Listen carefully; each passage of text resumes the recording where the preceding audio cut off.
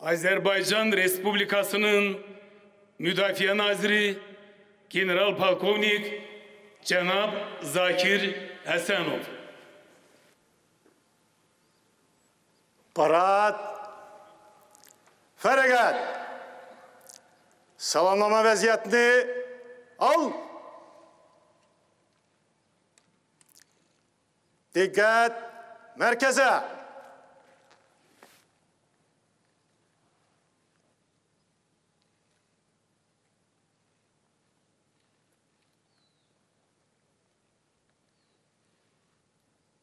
Azerbaycan Respublikası'nın prezidenti, Silahlı Qüvvələrin Ali Başkomandanı Cenab İlham Əliyev.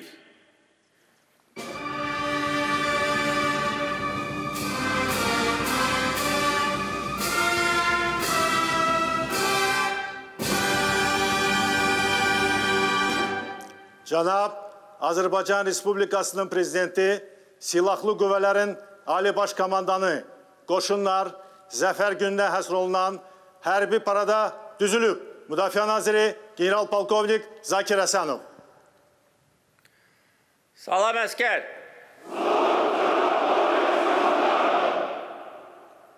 Halkımızın İmamilli lideri Ulu Önder Heydər Əliyevin ve ülkemizin söylenliği, erazi bütövlüğü uğrunda şehitliği zirvesine uçalan vətən övladlarının xatirəsini yad etmək üçün sükut elan edilir.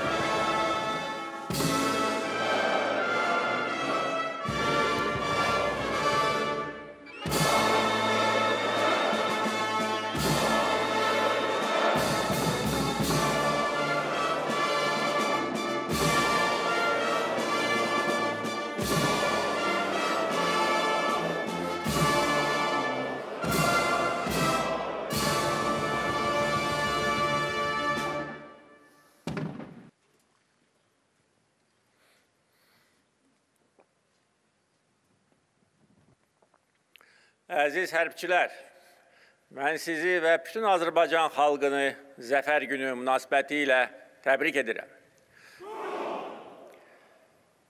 Üç il bundan əvvəl Qarabağın tacı olan Şuşa şəhəri işğalçılardan azad edildi. Ondan bir gün sonra düşmən ordusu təslim oldu və ağ bayraq qaldırdı. Beləliklə, İkinci Qarabağ müharibəsi Azərbaycan dövlətinin tam zəfəri ilə nəticələndi. Bu tarixi hadisədir. Azərbaycan xalqı uzun illər ərzində işğal dövründə bir nöqtəyə vururdu ki, tezliklə bizim torpaqlarımız işğalçılardan azad edilsin. Biz bu müqəddəs günü hər gün, hər saat öz əməyimizlə, işimizlə yaxınlaşdırırdıq. Birinci dəfə Azərbaycan xalqı mənə böyük etimad göstərəndə 20 il bundan əvvəl prezident kimi əziz xalqıma söz vermişdim. Əlimdən gələni edəcəyəm ki, biz ərazi bütövlüyümüzü bərpa edək. Həm seçkilər ərəfəsində, həm and içmə mərasimində doğma xalqıma söz vermişdim ki, gün gələcək biz Azərbaycan dövlət bayrağını işğal altında olan torpaqların hər bir güşəsində qaldıracağıq. Hatırlayıram, 5 il bundan əvvəl 2018-ci ilin sentyabrında Bakının Azadlıq meydanında keçirilmiş hərbi paradda çıxış edərkən demişdim ki, gün gələcək Azərbaycan bayrağı bugün hələ də işğal altında olan bütün torpaqlarda qaldırılacaqdır. Və bu gün gəldi. Bu günü bizə bəxş edən müzəffər silahlı qüvvələrimiz döyüş meydanında cəsarət, qəhrəmanlıq, fədakarlıq göstərərək düşməni bizim əzəli torpaqlarımızdan qovmuşdur. Bu böyük tarixi hadisədir. Azərbaycan xalqının çox əsrlik tarixində buna bənzər parlaq qələbə olmamışdır. Şuşa əməliyyatı bütün digər 44 gün ərzində apardığımız hərbi əməliyyatlar hərbçilərimizin şücaəti bir qəhrəmanlıq dastanıdır. 44 gün ərzində döyüş meydanında düşməni məğlub edərək, şəhər və kəndlərimizi azad edərək Azərbaycan əskər və zabiti əsl qəhrəmanlıq göstərmişdir. Hər gün biz irəli gedirdik. Bir gün belə geriyə addım atmamışdıq. Düşmən ordusu Azərbaycan ordusunun silahlı qüvvələrinin peşəkarlığını, fədakarlığını görərək daha da böyük təşvişə düşürdü. Və onların özlərinin etirafına görə 44 günlük müharibə zamanı Ermənistan ordusunda 12 min fərari olmuşdur. Azərbaycan silahlı qüvvələrinin bir dənə də olsun hərbçisi döyüş meydanını tərk etməmişdir. Bu Azərbaycan xalqının əyilməz ruhunu və yüksək mənəvi keyfiyyətlərini bir daha bütün dünyaya nümayiş etdirdi. Şuşa əməliyyatı təbii ki, 44 günlük Vətən müharibəsi dövründə xüsusi yerə malikdir. Çünki çox çətin coğrafi vəziyyətdə yerləşən, alınmaz qala sayılan Şuşanı yüngül silahlarla bir çox hallarda əlbəha döyüşlər nəticəsində azad etmək böyük güc, peşəkarlıq və fədakarlıq tələb edirdi. Azərbaycan evladları bunu göstərmişlər. 20 il bundan əvvəl prezident kimi öz fəaliyyətimə başlayanda əziz xalqıma bildirmişdim ki, biz torpaqlarımızı müharibə yolu ilə azad etməyə hazır olmalıyıq. O vaxt hələ sülh danışıqlarına müəyyən ümidlər var idi. Ancaq illər keçdikcə bu ümidlər tükənirdi. Ermənistan öz xoşu ilə bizim torpaqlarımızdan çıxmaq istəmirdi. Ermənistan Azərbaycan münaqişəsinin nizamlaması ilə məşğul olmuş vasitəçilər faktiki olaraq vəziyyəti dondurmağa çalışırdılar. Hesab edirlər ki, Azərbaycan xalqı bu vəziyyətlə barışacaq. Ancaq heç vaxt Azərbaycan xalqı bu vəziyyətlə barışmaq fikrində deyildi. Və mən dəfələrlə bunu müxtəlif kürsülərdən bəyan etmişdim ki, biz bu vəziyyətlə barışmayacağıq. Azərbaycan torpağında ikinci erməni dövlətinin yaradılmasına icazə verməyəcəyik və danışıqlar nəticəsiz başa çatsa, güc tətbiq edərək beynəlxalq hüquq əsasında öz doğma torpaqlarımızı döyüş meydanında işğalçılardan azad edəcəyik. Əgər Ermənistan rəhbərliyi və onun arxasında o vaxt və bu gün duran bəzi xarici qüvvələr mənim sözlərimə qulaq assaydılar, ikinci Qarabağ müharibəsinə ehtiyac qalmazdır. Mən dəfələrlə deyirdim, Ermənistan rəhbərliyinə müraciət edərək deyirdim ki, əgər siz bizim torpağımızdan çıxmasanız, döyüş meydanında bizimlə üz-üzə gələcəksiniz. Və sizin arxanızda kim istəyirsə dursun, bu bizi haqq yolumuzdan döndərə bilməz.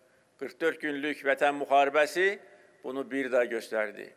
44 gün ərzində Azərbaycana müxtəlif yerlərdən, müxtəlif paytaxtlardan təzyiqlər göstərilirdi, təhdidlər səsləndirilirdi. Ancaq bizi haqq yolumuzdan heç kim döndərə bilməzdi. Və mən Vətən müharibəsi dövründə Azərbaycan xalqına müraciət edərək demişdim ki, düşmən bizə torpaqlarımızın azad olunmasının tarixini versin, o zaman biz müharibəni dayandırmağa hazırıq. Və belə də oldu. Şuşa zəfərindən sonra düşmən faktiki olaraq kapitulyasiyaya hazır idi və bir gün sonra kapitulyasiya aktına imza atdı. Biz də müharibəni dayandırdıq. O vaxt bizim silahlı qüvvələrimiz Xankəndinin bir addımlığındaydı. Müharibənin o vaxt dayandırılması bizim şuurlu seçimimiz idi. Və bugün bizim Baburada Xankəndi şəhərinin mərkəzi meydanında hərbi paradı keçirməyimiz bir də onu göstərir ki, nə qədər düzgün, müdrik addım idi. O vaxt mən heç şübhə etmirdim ki, gün gələcək və burada Xankəndi şəhərində Azərbaycan bayrağı qaldırılacaqdır. 44 günlük müharibənin 10 noyabr 2020-ci il tarixində dayandırılması bizə imkan verdi ki, Ağdam, Kəlbəcər və Laçın rayonları bir güllə atılmadan bizə qaytarıldı. Bu, Ermənistanın imzaladığı kapitulyasiya aktının tərkib hissəsi idi və bizim tələbimiz idi. Və bu tələbi Ermənistan yerinə yetirməyə məcbur olmuşdur. Çünki döyüş meydanında Azərbaycan silahlı qüvvələrinin gücünü və Azərbaycan siyasi rəhbərliyinin siyasi müstəvidə iradəsini görmüşdür. Və Ağdam, Laçin, Kəlbəcər rayonlarının bir güllə atılmadan azad edilməsi minlərlə gənclərimizin həyatını xilas etdi. Biz onsuz da o bölgələri də döyüş meydanında azad edəcəkdik. Ancaq şəhidlərimizin sayı daha çox ola bilərdi. İkinci Qarabağ müharibəsindən sonra bir gün biz dayanmadan ordu quruculuğu prosesini sürətləndirirdik və bunu gizlətmirdik. Və dərhal Qarabağ bölgəsində bütün vacib olan məntəqələrə yerləşdik. Eyni zamanda uzun illər ərzində işğal altında qalmış Azərbaycan-Ermənistan sərhədini nəzarətə götürdük. Sərhəddə mövqelərimizi tədricən yaxşılaşdırdıq və müxtəlif tədbirlər nəticəsində Azərbaycan-Ermənistan sərhədinin böyük hissəsində ən əlverişli mövqelərə malik olduq. Nə üçün biz bunu edirdik? Çünki biz bilirdik ki, Ermənistanda revanşist qüvvələr baş qaldırır. Biz bilirdik ki, Ermənistanın arxasında dayanan və onları bizə qarşı hərəkətə təhrik edən xarici qüvvələr onlara yenə də təhribatçı siqnallar verəcəklər. Ona görə biz öz sərhədimizi qorumalıydıq və keçirilmiş bir neçə hərbi əməliyyat nəticəsində bu gün Azərbaycan-Ermənistan sərhədində vəziyyət bizim nəzarətimizdədir. Bununla bərabər Qarabağ bölgəsində həyata keçirilmiş bir neçə hərbi əməliyyat bu bölgədə də əlverişli yüksəkliklərə sahib olmaq üçün bizə şərait yaratdı. Eyni zamanda bu əməliyyatlar Ermənistan siyasi rəhbərliyinə də bir siqnal idi ki, siz kapitulyasiya aktında təsbit edilmiş bütün müddəaları icra etməlisiniz və ilk növbədə öz silahlı qüvvələrinizi Qarabağdan çıxarmalısınız. Bu sizin öhdəliyinizdir. Amma həyatda biz bunun əksini gördük. Nəinki Ermənistan silahlı qüvvələri çıxarılmadı, əksinə daha çox qüvvə göndərilmişdi. O vaxt Laçın-Xankəndi yolu hələ bizim nəzarətimizdə deyildi. Silah, sursat, minalar gətirilmişdi. Və Ermənistan siyasi rəhbərliyi Qarabağdan öz silahlı qüvvələrini çıxarmaq istəmirdi. Son üç il ərzində keçirilmiş hərbi əməliyyatlar, o cümlədən Fərrux əməliyyatı, Sarbaba Qırxqız əməliyyatı və digər hərbi əməliyyatlar həm bizim strateji mövqelərimizi böyük dərəcədə yaxşılaşdırmışdır. Eyni zamanda Ermənistana göndərilmiş bir mesaj idi ki, bizi heç kim və heç nə dayandıra bilməz. Qarabağ Azərbaycan torpağıdır və burada biz vəziyyəti diktə edirik. Və siz dərhal silahlı qüvvələrinizi bizim torpaqlarımızdan çıxarmalısınız. Əgər o vaxt mənim sözümə baxsaydılar, sentyabr ayında keçirilmiş antiterror əməliyyatına ehtiyac qalmazdır. Bütün onların bəlalarının səbəbkarları elə onların özləridir. Və onların bəlaları təkcə 3 il bundan əvvəl başlamayıb. Hələ 90-cı illərin əvvəlində başlayıb. O vaxt Azərbaycan çörəyini yemiş, Azərbaycan suyunu içmiş, nankör kütlə Azərbaycana qarşı bax bu meydanda ərazi iddiası qaldırmışdır.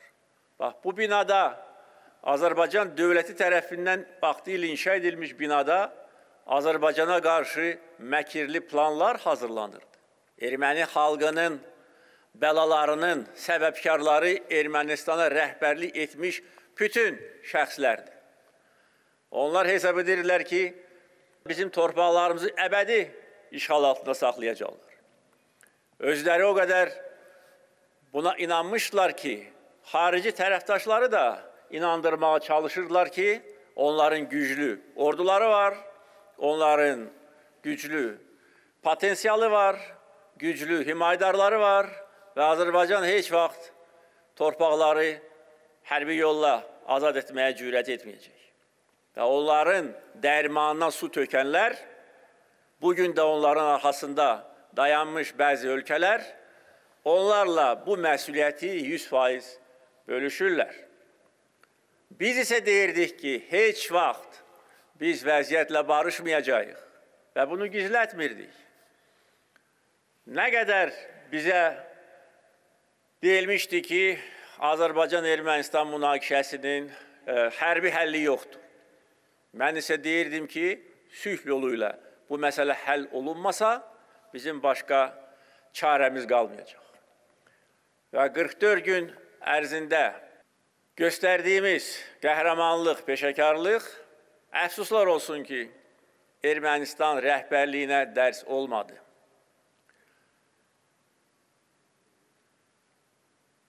Sentyabr ayında keçirilmiş antiterror əməliyyatı cəmi bir gün çəkdi, ondan da az. Azərbaycan ordusu peşəkarlıq və qəhrəmanlıq göstərərək bütün strateji yerlərə çıxaraq qısa müddət ərzində o əməliyyatın taleyini həll etdi və düşmən ordusu təslim olmağa məcbur olmuşdur. Nəinki təslim olmağa, hətta 30 il bundan əvvəl bizim torpağımızda yaratdıkları qondarma rejimə də şitan verildi. O rejimdə sükut etdi. Halbuki bu qanunsuz rejim idi. Və beləliklə biz tarixi ədaləti bərpa etdik. 20-si sentyabr 2023-cü il bizim tariximizdə qalacaq. Necə ki 8 noyabr. Noyabrın 8-də Şuşa əməliyyatından sonra düşmən ordusunun beli qırıldı və bir gün sonra kapitulyasiya aktına imza attı. Bu ilin aprelin 23-də biz Laçın istiqamətində Azərbaycan-Ermənistan sərhədini nəzarətə alaraq ərazi bütövlüyümüzü tam bərpa etdik. Və sentyabrın 20-sində dövlət suverenliyini tam bərpa etmişdik. Bununla separatçıların kitabı bağlandı. Artıq separatçılığa yer olmayacaq Azərbaycanda. Azərbaycan dövləti bütün əraziyə bugün nəzarət edir və bunun səbəbkarları bugün bax, bu meydanda dayanan bizim igidlərimizdir və 10 minlərlə Azərbaycan hərbçiləridir.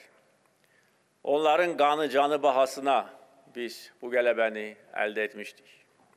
Mən bir də demək istəyirəm ki, biz 20 il ərzində bu günə doğru gedirdik. Hazırlıq işləri gedirdi. Beynəlxalq hüquq müstəvisində Azərbaycan mövqeləri möhkəmləndirilirdi. Siyasi müstəvidə apardığımız uğurlu fəaliyyət nəticəsində bütün dünya artıq bilməyə başlamışdır ki, haqlı tərəf bizik iqtisadi sahədə apardığımız islahatlar imkan verdi ki, müstəqil iqtisadiyyat quraq. Heç kimdən asılı olmayaq. Öz həyatımızı özümüz quraq. Güclü siyasi iradə imkan verdi ki, müstəqil xarici siyasət aparaq, daxili siyasət aparaq. İmkan verməyək ki, kimsə bizim işimizə müdaxilə etsin. Halbuki belə cəhdlər tarixdə çox olmuşdur dövlətimizi, milli ləyaqətimizi, həyat tərzimizi, ənənələrimizi qorumuşuq ki, heç kim bizim işlərimizə burnunu soxmasın. Və əlbəttə ki, birinci nömrəli vəzifə ordu quruculuğu idi.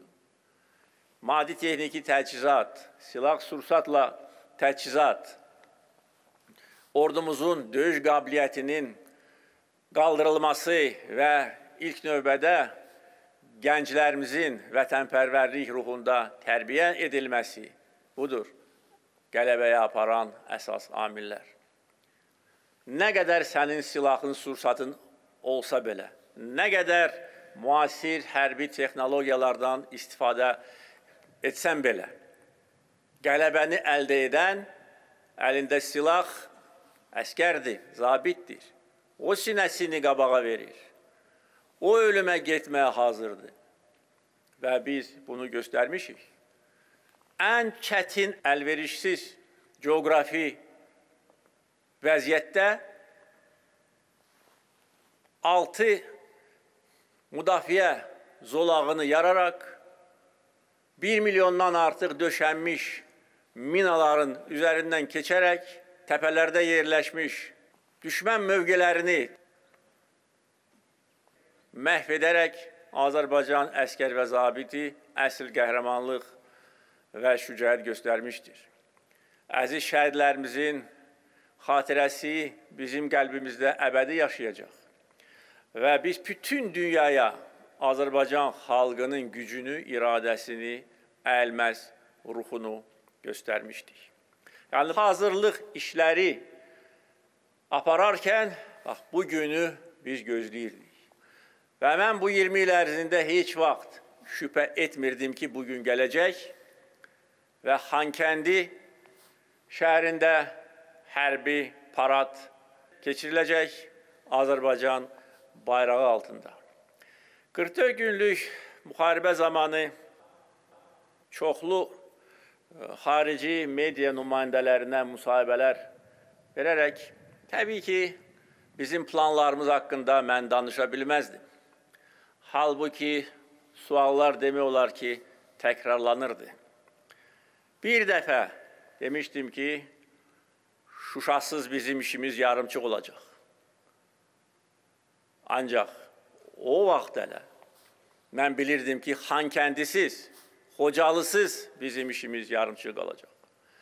Üç il bundan əvvəl mən əmr verərək Azərbaycan ordusunu dayandırdım və bir də demək istəyirəm ki, tarix göstərdi ki, nə qədər düzgün addım idi. Ancaq o gündən bax bu günə qədər sentyabr ayına qədər hər gün biz işləyirdik, çalışırdıq ki, tam şəkildə Azərbaycanın suverenliyi bərpa edilsin. Və oktyabrın 15-də Ağdərədə, Əskəranda, Xocavənddə, Xocalıda və Xankəndidə mən Azərbaycan bayrağını qaldırdım. Bundan böyük xoşbəxtlik ola bilməz. Həm mənim üçün, həm sizin üçün, həm Azərbaycan xalqı üçün, həm bütün dünya Azərbaycanlıları üçün. 4 il bundan əvvəl bax qarşıdakı Xankəndi şəhər stadionunda Ermənistanın baş naziri çıxış edərkən təkəbbürlə demişdir, Qarabağ Ermənistandır və nöqtə. Biz ona və onun kimilərinə və onların arxasında duranlara döyüş meydanında qan tökərək, şəhidlər verərək göstərdik ki, o səhv yoldaydı. Biz göstərdik ki, Qarabağ Azərbaycandır. Döyüşərək, vuruşaraq, heç nəyə baxmayaraq və bugün hər kəs bilməlidir ki, bizimlə bundan sonra heç kim zarafat eləməsin. Ermənistan rəhbərliyi əgər revanşist fikirlərlə yaşayırsa, Ermənistanın arxasında dayanan manipulyasiyaya öyrəşmiş ölkələr əgər yenə də hansısa məkirli plan Azərbaycan üçün qurursa, o bugünkü parada bir nəzər yetirsin və bilsin ki, burada mindən çox igidlərimiz düzülübdür. Və bizim 100 mindən çox onlar kimi igidlərimiz var və heç bir qüvvə bizi təhdid edə bilməz və istənilən müstəvidə biz döyüşə hazırıq. Siyasi lazım olarsa hərbi meydanda. Biz bunu göstərmişik. Bizim qədər 21-ci əsrdə heç bir ordu peşəkarlıq, fədakarlıq göstərməmişdi. Bizim qədər heç bir xalq öz doğma torpağını bu qədər əziz tutub uğrunda ölümə getməyə hazır olmamışdır. Bunu biz hamımız yaxşı bilirik. Bunu dünya da bilsin. Bizə yeni müharibə lazım deyil. Biz istədiyimizə nail olduq. Beynəlxalq hüququ bərpa etdik. Tarixi ədaləti bərpa etdik. Milli ləyaqətimizi bərpa etdik. Düşmənə onun yerini göstərdik. Düşmən bizim qabağımızda diz çöktü və bugün burada müzəffər silahlı qüvvələrin qarşısında mən çıxış edirəm. Yəni biz bütün vəzifələri icra etmişik. Ancaq bununla bərabər bundan sonra da ordu quruculuğu məsələləri bizim üçün prioritet məsələlərdən biri olacaq. Bunu hamı bilsin və heç kim bunu unutmasın. Mən bir daha əziz hərbçilər sizi və bütün Azərbaycan xalqını Zəfər günü münasibəti ilə ürəkdən təbrik edirəm. Eşq olsun Azərbaycan silahlı qüvvələrinə. Qarabağ Azərbaycandır.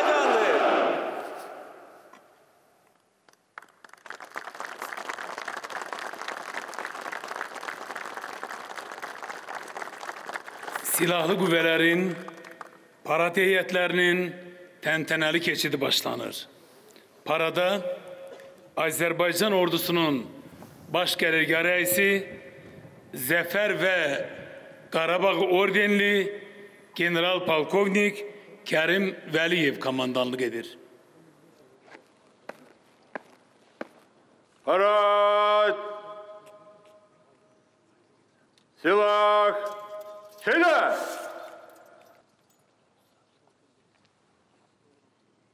Tenteneli başla!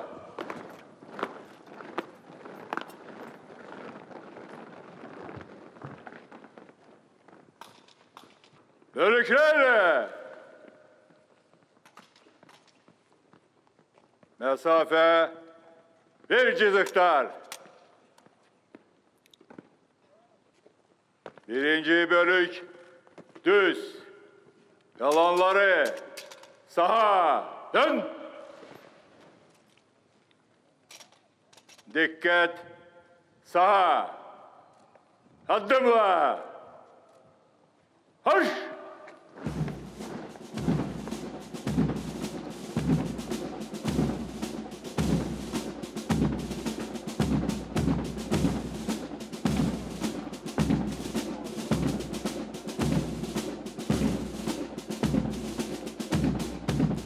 Silahlı qüvvələrin parad heyətləri Azərbaycan Respublikasının dövlət bayrağı və Şuşa şəhərinə sancılan qələbənin rəmzinə çevrilmiş zəfər bayrağı altında tribunaya doğru irəliləyirlər.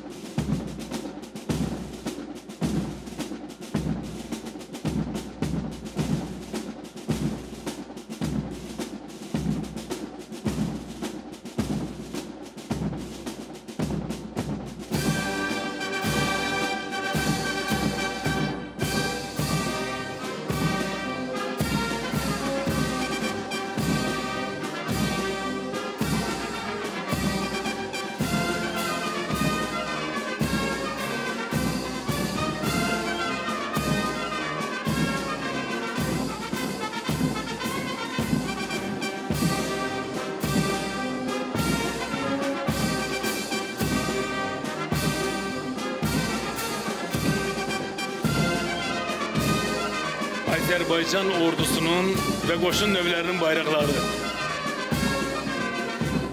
Lokal xarakterli antiterror tədbirlərində iştirak etmiş hərbi birləşmələrin döyüş bayraqları Xankəndinin mərkəzi meydanındadır. Müdafiə Nazirliyinin xüsusi təyinatlı qüvvələrinin parad heyəti. Parad heyətinə Vətən müharibəsi qəhrəmanı General Leytenant Hikmət Mirzəyev başçılıq edir.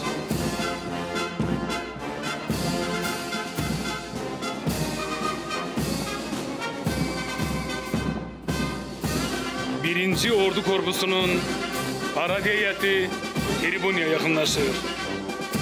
Parad heyətinə Azərbaycan bayrağı və Rəşadət ordenli General Mayor Bilal Sompuzov başçılıq edir.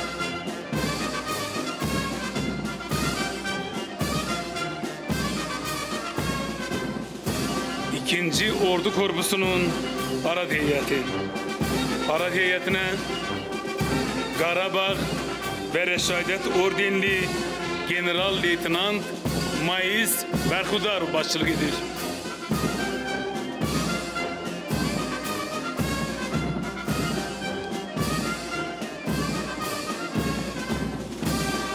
Üçüncü Ordu Korpusu'nun parad heyəti.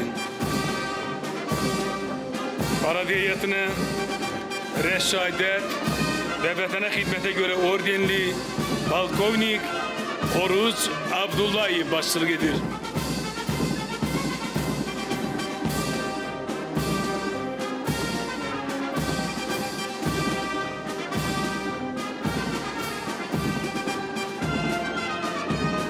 Dördüncü Ordu Korpusu'nun parad heyəti. Parade heyetine Azerbaycan bayrağı ve Reşadet Ordenli General Mayor Münasip Babayev başçılık edir.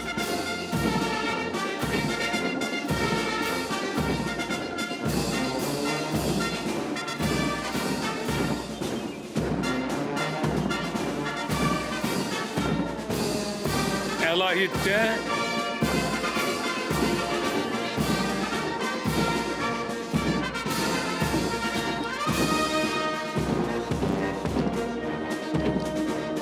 1. Ordu Korpusu'nun para heyeti. Para heyetine Vətən Müharibəsi Qəhrəmanı, Rəşadət Ordenli General-Mayor Kenan Seyidov başçılıq edir. Əlahiddə Ümumqoşun Ordunun para heyəti.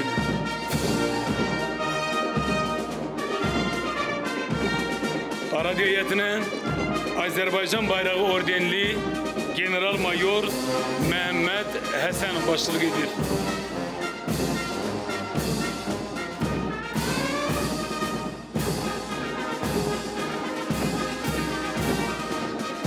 Hərbi Dəniz Qüvvələrinin dəniz piyadalarından ibarət parad heyəti.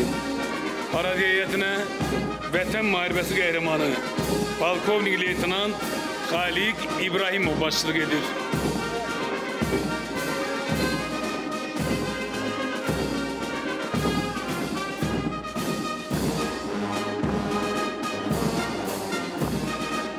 Hərbi Hava Qüvvələrinin parad heyəti. Parad heyətinə Vətən Müharibəsi Qəhrəmanı General Mayor Namik İslamzadə başçılıq edir.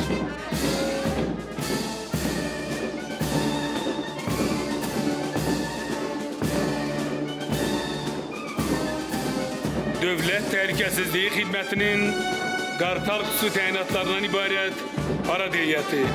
Parad heyətinə Qarabağ ordenli Polkovnik Cabir Cəfərov başçılıq edir.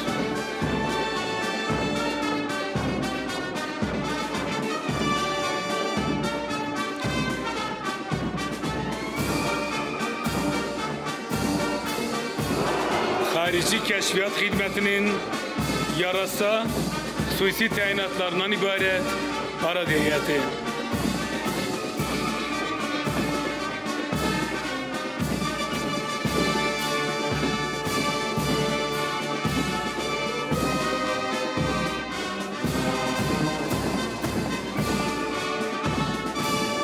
Daxili İşlər Nazirliyinin daxili qoşunlarının xüsusi təyinatlarından ibarət parad heyəti. Parad heyətinə vətənə xidmətə görə ordenli General Mayor Tofiq Hüseynov başçılıq edir.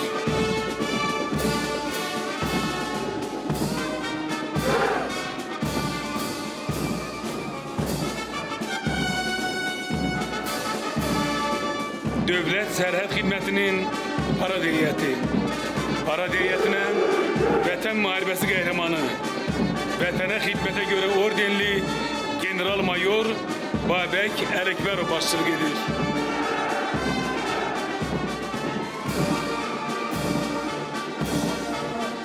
Azərbaycan Respublikası Prezidentinin Təhlükəsizlik Xidmətinin Milli Qvardiyasının hərbi qulluqçularından ibarət parad heyəti.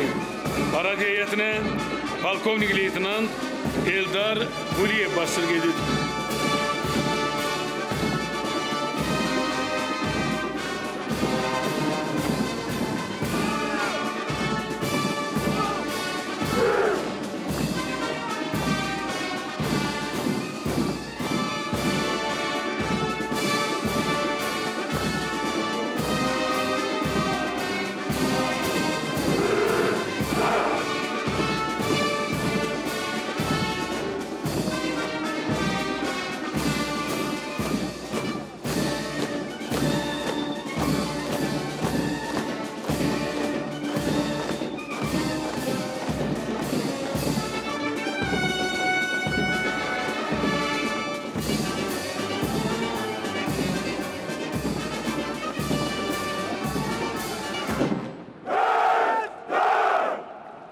antiterror tədbirləri zamanı müsadirə edilən hərbi texnikaların kiçik bir hissəsi qoşqular üzərində mərkəzi meydana gətirilir.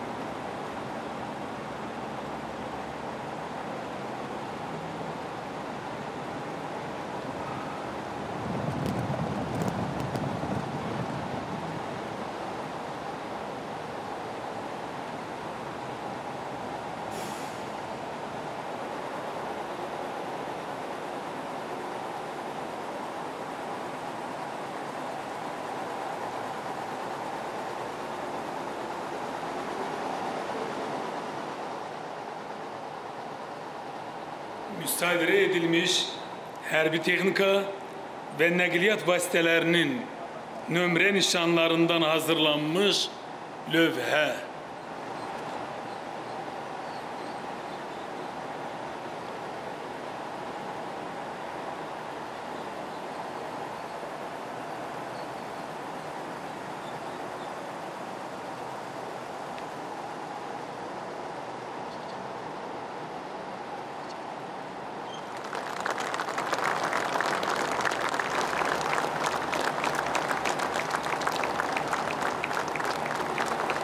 Vətən müharibəsində qələbənin 3-cü il dönümü münasibəti ilə Xankəndi şəhərinin mərkəzi meydanında keçirilən hərbi parad qələbə marşı ilə başa çatır.